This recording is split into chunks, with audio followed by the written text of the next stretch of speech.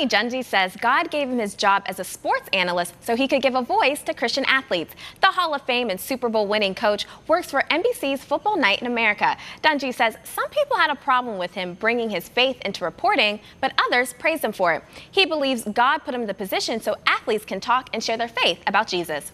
And someone in Louisiana took a unique approach to make their wrongs right 40 years later. An anonymous writer sent a note to the Webster Parish Courthouse and repented for stealing office supplies when they used to work there as a teenager.